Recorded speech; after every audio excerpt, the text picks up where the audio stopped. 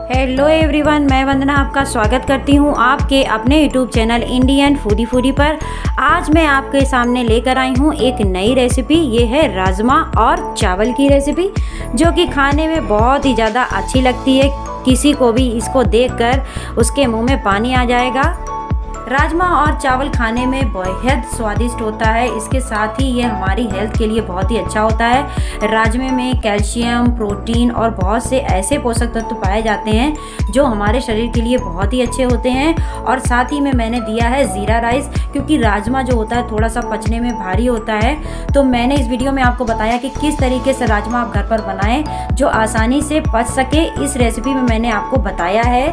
और इसी के साथ हमने यहाँ पर दिया है ज़ीरा राइस। इसमें अच्छी मात्रा में ज़ीरा पड़ा हुआ है। तब इस तरीके का ज़ीरा राइस जब हम राजमे के साथ खाते हैं तो ये हमें बहुत ही जल्दी हजम हो जाता है। साथ ही ये हमें भरपूर मात्रा में एनर्जी देता है और हमारे शरीर को स्ट्रॉन्ग बनाता है। इतनी अच्छी टेस्टी और हेल्दी सब्ज़ी और इसी के साथ ज़ीरा राइस बनाना शुरू करते हैं।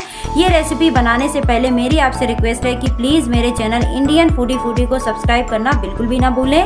तो चलिए शुरू करते हैं। राजमा बनाने के लिए हमने यहाँ पर एक बड़ी कटोरी राजमा लिया है। ग्राम्स में देखें तो ये 150 ग्राम राजमा है। राजमे को बनाने के लिए हमें इसको पहले रात भर भिगोना होगा। उसके लिए हम एक कटोरी यहाँ पर राजमा ले रहे हैं। इसी कटोरी की नाप चार कटोरी पानी डाल करके हम इसको रात भर भिगो करके रख देंगे।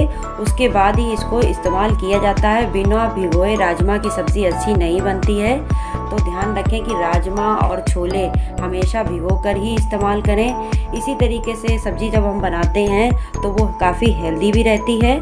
ये देखिए, यहाँ पर हमने राजमे को भिगो करके ले लिया है। ये देखिए, राजमे हमारे बहुत ही अच्छे से फूल चुके हैं। अब हम इनको बॉयल करेंगे। राजमे को हमने अपने प्रेशर कुकर में डाल लिया है। अब हम इसको बॉयल करेंगे। उसके लिए हम इसमें डाल रहे हैं तीन कटोरी पानी। इसको इसी में हम डाल देंगे। एक कटोरी हमने राजमा लिया था। उसका हम तीन गुना यहाँ पर पानी डाल रहे हैं। अभी हम इसमें बॉयल आने देंगे ताकि इसमें जो झाग वगैरह रहता है वो निकल आए। और हम उसको निकाल देंगे। ये देखिए, पानी में बॉयल आ चुका है और ये साइड से देख रहे हैं आप वाइट कलर का ये झाग बन रहा है। इसको हमें निकाल देना है क्योंकि ये हमारे लिए हार्मफुल होता है।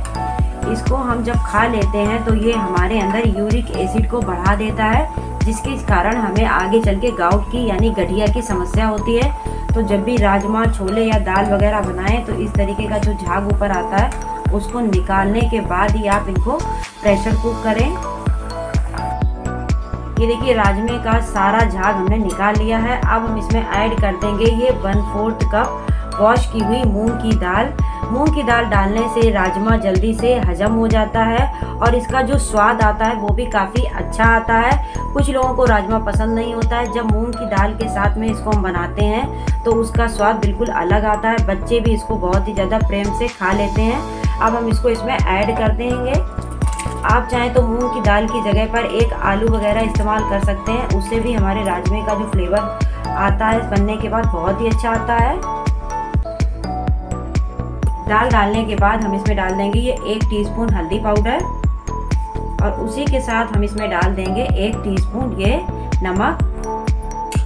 सारी चीज़ों को अच्छे से मिक्स कर अब हम इनको प्रेशर कुक करेंगे। इसके लिए इसको हम कवर कर देंगे। ध्यान रखें कि राजमे से चार से पाँच गुना पानी ही डालिएगा, नहीं तो राजमा नीचे लग जाएँगे और सब्ज़ी हमारी खराब हो जाएगी।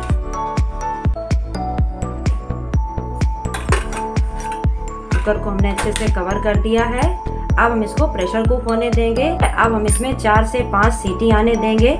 पहली सीटी हम लगाएँगे फाइव फ्लेम पर, उसके बाद गैस का फ्लेम मीडियम कर देंगे और चार से पाँच सीटी आने देंगे ताकि हमारा राजमा अच्छे से कुक हो जाए।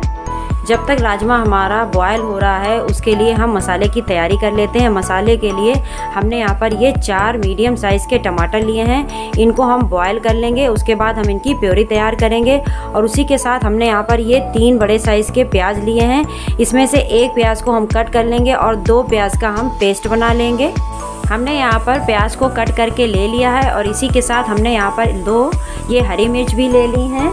और इसी के साथ हमने यहाँ पर आठ से दस लहसुन की कलियाँ भी ले ली हैं और एक इंच अदरक का टुकड़ा भी ले लिया है। अब इन सारी चीज़ों को पीस करके हम इसका एक पेस्ट तैयार करेंगे। ये देखिए, पेस्ट हमारा रेडी हो चुका है। अब हम इसको एक कटोरी में निकाल लेंगे। हमने जो चार टमाटर लिए थे, वो अच्छे से हमने बॉयल कर लिए हैं। ये देखिए, इनका छिलका हट चुका है। अब हम इनको ठंडा कर लेंगे और मिक्सी के ग्राइंडिंग जार में डाल करके इनकी प्योरी तैयार कर लेंगे। आप चाहें तो प्योरी को आप छान करके भी इस्तेमाल कर सकते हैं, क्योंकि छान के जब हम इस्तेमाल करते हैं तो इसके छिलके वगैरह ये निकल जाते हैं और इसके अंदर का बीज भी निकल जाता है। उससे हमारी ग्रेवी काफ़ी हेल्दी और काफ़ी टेस्टी और देखने में बहुत ही ज़्यादा स्मूथ बन करके तैयार होती है। राजमा हमारे बॉयल हो चुके हैं। अब हम तैयारी करेंगे ग्रेवी की। ग्रेवी की तैयारी करने के लिए हमने गैस के ऊपर अपनी कढ़ाई रख ली है और उसमें हमने डाल दिया है लगभग एक से डेढ़ सर्विंग स्पून कुकिंग ऑयल अब हम इसमें डाल देंगे चार तेज पत्ते तेज पत्ते हमारे हल्के से फ्राई हो चुके हैं। इसी के साथ हम इसमें डाल देंगे। ये हम शाही ज़ीरा यहाँ से इस्तेमाल कर रहे हैं। आपके पास जो भी जीरा हो, आप वो डाल सकते हैं, लेकिन शाही ज़ीरे का स्वाद बहुत ही अच्छा लगता है। इसको इसमें ऐड कर देंगे।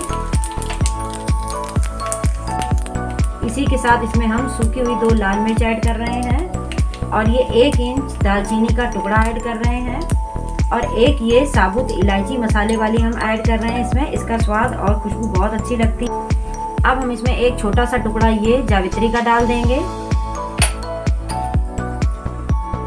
के साथ हम यहाँ पर डाल देंगे आठ से दस काली मिर्च और दो ये हरी इलायची। खड़े मसाले थोड़े से फ्राई हो चुके हैं। अब हम इसमें डाल देंगे ये बारीक कटा हुआ प्याज।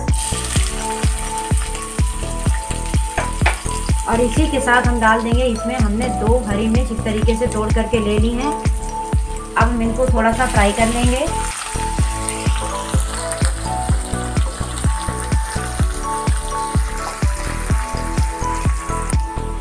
ये देखिए, तीन से चार मिनट हो चुके हैं। प्याज में अच्छा गोल्डन ब्राउन कलर आ चुका है।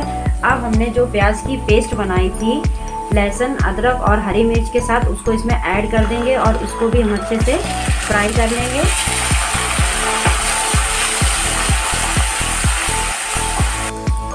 देखिए, प्याज हमारा यहाँ पर बहुत ही अच्छे से गोल्डन ब्राउन हो चुका है। अब हम इसमें ऐड कर देंगे अपने कुछ मसाले। उसके लिए हम यहाँ पर ले रहे हैं एक टीस्पून भर करके ये हल्दी पाउडर और इसी के साथ हम इसमें डाल देंगे ये दो टीस्पून भर करके धनिया पाउडर अब हम इसमें डाल देंगे ये लाल मिर्च पाउडर अब इन सारी चीज़ों को अच्छे से हम मिक्स कर देंगे। मसालों को हमने एक से दो मिनट के लिए यहाँ पर फ्राई कर लिया है। अब हमने जो टमाटो प्योरी तैयार की थी, उसको इसमें हम डाल देंगे। ये देखिए, टमाटरों को हमने यहाँ पर अच्छे से छान करके लिया है। कितनी अच्छी प्योरी हमारी बन करके यहाँ पर तैयार हुई है। इसी तरीके से इन सारी चीज़ों को अच्छे से मिक्स कर देंगे और लगभग तीन से चार मिनट के लिए और फ्राई कर लेंगे। ये देखिए, लगातार चलाते हुए इस तरीके से हमने टमाटर, प्याज और सारे मसालों को बहुत ही अच्छे से भून लिया है। अब हम इसमें डाल देंगे ये बारीक कटा हुआ धनिया। ये ऑप्शनल है, लेकिन इसी स्टेज पर आप इसको डालिए, इसमें बहुत ही अच्छा फ्लेवर आता है। इसको हल्का सा इसी के साथ हम मिक्स कर देंगे ताकि ये भी अच्छे से मिक्स हो जाए और फ्राई हो जाए। कि देखिए, सारी चीज़ें बहुत ही अच्छे से मिक्स हो चुकी हैं, सारे मसाले बहुत ही अच्छे से फ्राई हो चुके हैं। अब हम इसमें डाल देंगे ये जो राजमे हमने लिए हैं बॉयल करके, इस तरीके से। और ये देखिए, राजमा हमारा बहुत ही अच्छे से बॉयल हुआ है। इस तरीके से मैं आपको प्रेस करके दिखाती हूँ कितने अच्छे से ये फूट रहा है बिल्कुल सॉफ्ट राजमा हमारा बॉयल हुआ है। अब इन सारी चीज़ों को हम अच्छे से मिक्स कर देंगे और एक से दो मिनट के लिए इसी तरीके से इसको फ्राई कर लेंगे। राजमा जिस पानी में हमने बॉईल किया था, दाल वाला, वो पानी अब हम ले लेंगे और अब हम डाल देंगे अपनी इस सब्ज़ी में। अब इन सारी चीज़ों को हम अच्छे से मिक्स कर देंगे।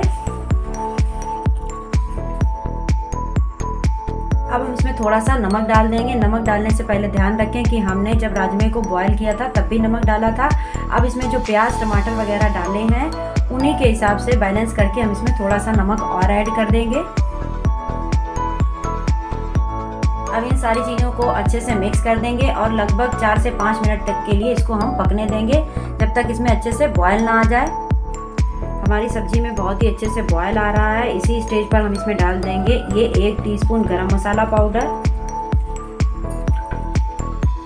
और इसी के साथ हम इसमें डाल देंगे ये एक टीस्पून भर करके हमने ली है कसूरी मेथी। इसको हमने हल्का सा फ्राई करके लिया है। इसको भी इसमें ऐड कर देंगे। इसको डालने से बहुत ही अच्छी खुशबू आ जाती है और बिल्कुल इसका जो टेक्सचर और टेस्ट आता है, बिल्कुल आता है होटल जैसा। ये देखिए इन सारी चीज़ों को हमने अच्छे से मिक्स कर दिया है। अब हम गैस का फ्लेम बंद कर देंगे। सब्ज़ी हमारी तैयार हो चुकी है। अब हम इसको साफ़ करें। वाह ये देखिए कितनी अच्छी थिकनेस आई है हमारी सब्ज़ी में। बहुत ही अच्छी सब्ज़ी बनकर के तैयार हुई है। बहुत ही अच्छी खुशबू आ रही है। और खाने में बहुत ही ज़्यादा हेल्दी है ये। ये देखिए, बहुत ही ज़्यादा यमी, टेस्टी राजमा की सब्ज़ी हमारी बनकर के तैयार हो चुकी है। सब्ज़ी बनाने के बाद हम बनाएँगे राजमा के साथ में ज़ीरा राइस। उसके लिए हमने यहाँ पर एक कटोरी भर करके ये चावल ले लिए हैं। देखिए, चावलों को अच्छे से हमने वॉश करके ले लिया है। अब हम इनको पहले पकाएँगे। चावल बनाने के लिए हमने अपना पैन गैस के ऊपर रख लिया है। अब हम इसमें डाल देंगे ये दो कटोरी पानी। जिस कटोरी की नाप हमने चावल लिए थे, उसी कटोरी की नाप हम यहाँ पर दो कटोरी पानी ले रहे हैं। और उसी के साथ ये दूसरी कटोरी। अब पानी में हम बॉयल आने देंगे, उसके बाद हम इसमें चावल डालेंगे। अब इसको हम कवर कर देंगे ताकि इसमें जल्दी से बॉयल आ जाए। ये देखिए, पानी में बहुत ही अच्छे से बॉयल आ रहा है। अब हम इसका ढक्कन हटा देंगे। और जो चावलों को हमने अच्छे से वॉश करके रखा था, उसको इसमें डाल देंगे। चावल डालने के बाद इसको वापस हम इस तरीके से कवर कर देंगे और इसको पकने देंगे। चार से पाँच मिनट हो चुके हैं, हम इसका ढक्कन हटा करके देखेंगे। ये देखिए, चावल हमारे लगभग कुक हो चुके हैं। अब हम इसमें डाल देंगे ये हाफ़ टी स्पून सफ़ेद नमक और इसी के साथ हम इसमें डाल देंगे ये आधे नींबू का रस। इसको डालने से चावल हमारे खिले खिले रहते हैं और ओवर कुक नहीं होते हैं। ये देखिए, इस तरीके से अभी थोड़ा सा इसमें पानी है। अब हम इस तरीके से इसको चला देंगे। दो से तीन मिनट के लिए इसको और छोड़ देंगे। ये देखिए, चार से पाँच मिनट बाद वापस हमने अपने चावलों को चेक करके देखा है। इनका सारा पानी सूख चुका है। अब हम गैस का फ्लेम बंद कर देंगे और अपने चावलों को किसी फैले हुए बर्तन में निकाल लेंगे। अगर आपके चावल ज़्यादा कच्चे हों तो इसी तरीके से इसी बर्तन में रहने दीजिए और दोबारा से इसको कवर कर दीजिए। अगर सही पके हैं तो आप किसी फैले हुए बर्तन में निकाल लीजिए, नहीं तो चावल आपके ओवर कुक हो जाएँगे और जीरा राइस खिले खिले नहीं बनेंगे। ये देखिए, हमने एक प्लेट ले ली है। अब हम इसमें अपने राइस निकाल लेंगे। देखिए कितने अच्छे खिले खिले हमारे राइस बनकर के तैयार हुए हैं। अब हमने इसमें लगाना है ज़ीरे का तड़का। अब हमने गैस के ऊपर बड़ी कढ़ाई रख ली है। बड़ी कढ़ाई में ही अपने जीरा राइस बनाइएगा, क्योंकि जब बड़ा बर्तन होगा तो चावल को फ्राई करने में हमें ज़्यादा प्रॉब्लम नहीं आएगी और चावल टूटेंगे भी नहीं, आसानी से वो फ्राई हो जाएँगे। अब हम गैस का फ्लेम ऑन कर लेंगे और इसमें देसी घी डालेंगे कढ़ाई में हमने देसी घी डाल दिया है, वो अच्छे से मेल्ट हो रहा है। थोड़ा सा घी को हमें गर्म करना है। ये देखिए, घी हमारा गर्म हो चुका है। अब हम इसमें डाल देंगे ये शाही ज़ीरा। हम यहाँ पर शाही ज़ीरा ले रहे हैं। आपके पास जो भी ज़ीरा हो, मोटा वाला, वो भी आप इस्तेमाल कर सकते हैं। लेकिन शाही ज़ीरे का जो स्वाद आता है, वो बहुत ही अच्छा आता है। रेस्टोरेंट वगैरह में जो आप ज़ीरा राइस खाते हैं, उसमें यही वाला, पतला वाला ज़ीरा पड़ा रहता है, जिसको शाही ज़ीरा बोलते हैं। और इसको हम हल्का सा फ्राई होने देंगे। ये देखिए, ज़ीरा हमारा अच्छे से क्रैकल हो रहा है। ज़ीरो को हमें इसमें ज़्यादा फ्राई नहीं करना है, बस हल्का सा ही फ्राई करना है। ये देखिए, ज़ीरा हमारा अच्छे से फ्राई हो चुका है। अब हम गैस का फ्लेम बंद कर देंगे और इसमें डाल देंगे अपने राइस देखिए कितने अच्छे खिले खिले हमारे राइस बने अब बिल्कुल हल्के हाथों से इनको हम मिक्स कर देंगे। ये देखिए, इस तरीके से जब हम जीरा राइस बनाते हैं तो चावल हमारे सॉफ्ट सॉफ्ट रहते हैं और जीरे में काफ़ी अच्छे से क्रंच रहता है।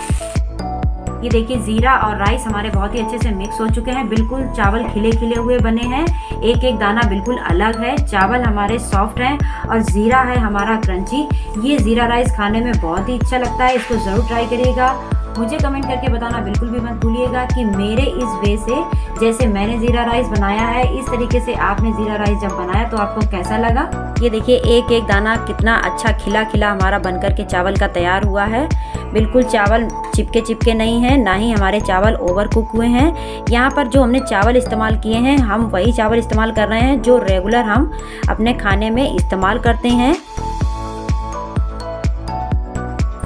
वाओ, ये देखिए, हमने अपने ज़ीरा राइस को सर्व कर लिया है। थोड़ा सा हमने इसके ऊपर डाल लिया है हरा धनिया। इसको हमने इससे गार्निश कर लिया है। वाह ये देखिए हमारा ज़ीरा राइस और इसी के साथ ये राजमे की सब्ज़ी देखने में ही बहुत ही ज़्यादा टेस्टी लग रही है। इसको देखकर किसके मुँह में भला पानी नहीं आएगा? साथ ही बहुत ही ज़्यादा हेल्दी होता है राजमा हमारे लिए। हमारे वेट लॉस में भी काफ़ी मददगार होता है क्योंकि इसमें भरपूर मात्रा में प्रोटीन होता है और इसको एक बार खा लेने के बाद बहुत देर तक हमें भूख नहीं लगती है। इसमें भरा होता है भरपूर मात्रा में कैल्शियम, इसलिए ये हमारी हड्डियों को स्ट्रॉन्ग बनाता है, छोटे बच्चों से लेकर बड़ों तक को। ये सब्ज़ी ज़रूर खानी चाहिए। जिस तरीके से मैंने बताई है इस वीडियो में, इस तरीके से अगर आप बनाते हैं तो ये काफ़ी हेल्दी बन करके तैयार होगी। दूसरा, आपको पचने में काफ़ी ईजिली ये पच जाएगा। तो इस कॉम्बिनेशन को ट्राई करिए और मुझे कमेंट करके बताना। बिल्कुल भी मत भूलिएगा कि मेरी ये रेसिपी आपको कैसी लगी। लाइक और शेयर करें मेरे वीडियोस को। मेरे चैनल इंडियन फूडी फूडी को सब्सक्राइब करना बिल्कुल भी मत भूलिएगा। बेल आइकन ज़रूर दबा दीजिएगा ताकि आने वाली वीडियोज़ की नोटिफिकेशन आपको जल्द से जल्द मिल सके। Thanks for watching